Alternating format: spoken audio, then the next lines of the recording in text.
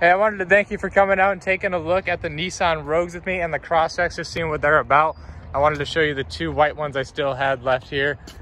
Here's the SV. I had one with also a lighter interior. And then of course the one with the darker two-tone as well. Thanks again for stopping out. It was a pleasure meeting you. Do let me know what I can do. Do let me know how the everything goes with your banker. Uh, if you have any questions in the meantime, my number is 319-220-0884. Thanks again. Bye.